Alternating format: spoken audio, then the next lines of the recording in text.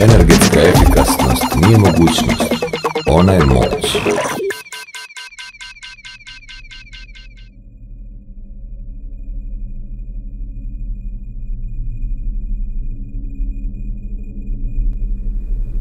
Mama, mama, je li ona gledala?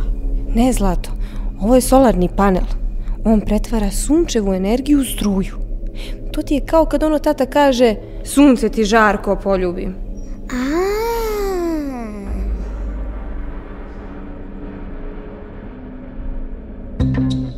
Bez energije nema rada, a bez rada nema proizvodnje.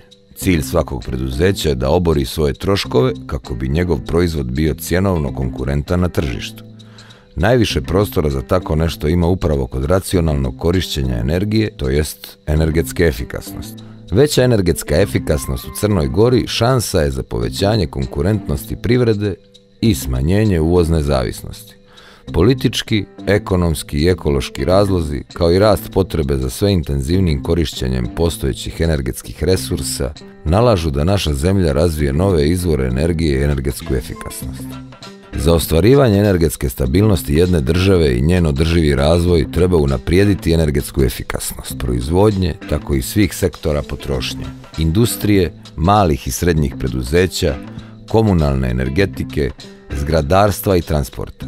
Održivi razvoj Crne Gore zavisi od spremnosti svakog pojedinca da prihvati neophodnost promjena, ali i od spremnosti države da usvajanjem zakonske regulative i podsticajnih mjera provede reformu energetskog sektora i stvori uslove za poboljšanje energetske efikasnosti u svim sektorima potrošnje.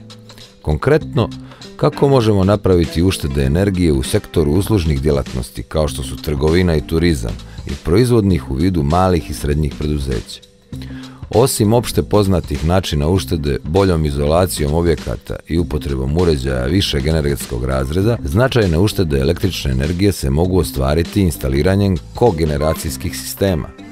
Kogeneracija je postupak za istovremenu proizvodnju električne energije i toplote.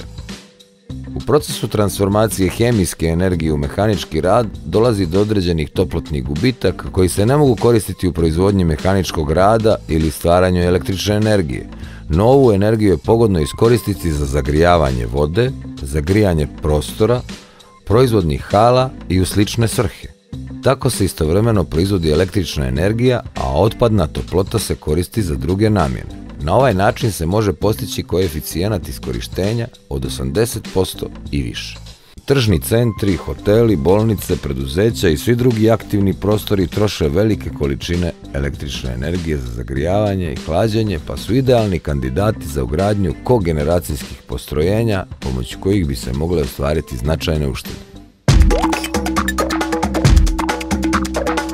Ovaj, svi, mislimo, većina vas zna od kud sam, šta sam, znači bila sam na Survivoru, bila sam na Kostarici, doživjela sam e, nešto što možda mnogi neće doživjeti, a to je divljinu i onaj jedan surovi život koji te nauči da cijeniš male stvari. Evo, na primjer, najgore stvar je bila onu prvu večer kad su nas bacili, jel se sjećate kad su nas bacili na otok i nije bilo ničega, bio je samo mrak. Nismo mogli zapaliti vatru, nismo mogli zagrijati vodu da skuhamo rižu, nismo mogli paliti svjetlo da napravimo krevet. I onda kad ti se takve stvari dese u takvoj, e, u jednoj takvoj situaciji počneš to cijeniti više nego što si ikad prije cijenio. Ja, realno, mislim, znate otprilike kakav sam li... Jedino što sam sad raspoznavala su energetske vrijednosti hrane, znači koliko ima šta kalorija, ali kako sam se vratila, stvarno cijenim e, puno više i drugu energiju koja nam daje e, sve ove stvari da bi mogli živjeti. I svjetlost, i toplinu, i mislim da je zato treba čuvati i cijeniti. Očigledan izvor toplotne energije je biomasa. Biomasa je naravno drvo za koje svi znamo da gorenjem stvara toplotu, ali tu postoje različite vrste biootpada koji se također mogu tretirati kao energenti. Prije svega to je otpad od prerade drveta, zatim biljni otpad iz poljoprivrednih kultura, životinski u vidu njihovog izmeta i biomase iz kućnog otpada ili mulja otpadnih voda. Najčešće se koristi drvna biomasa u vidu peleta. Proizvoda koji se dobija presovanjem pod velikim pritiskom piljevine i strugotine. Vlažnost peleta je mala, pa je njegova energetska vrijednost mnogo veća od običnog drveta.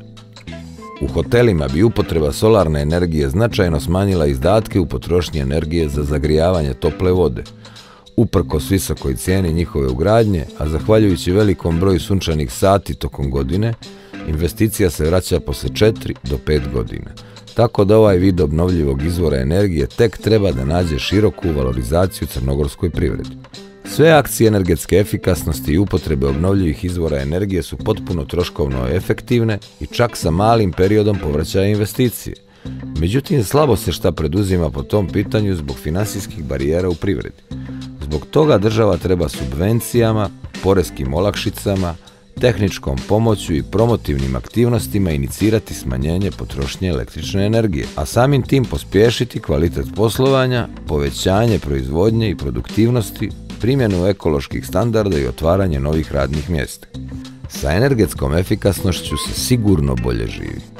Razmisli zašto sunce može da koristi? Za sunčanje na plažu kad dođu turisti. Ili kao energija za solarne panele Koji griju vodu pa struju prištede. Za toplotu doma koristi biomasu. Ako pređe ti u praksu isplatit će se masu Treba da se sačuva. Zemlja, voda, vazduh Obnovljivi izvori prosto kao pasu. A čuješ što ti zborim obnovljivi izvori. Planetu to ne boli jer ima ne izvoli. Ha, čuješ što ti zborim Obnovljivi izvori, planetu to ne boli Jer ima ne izvoli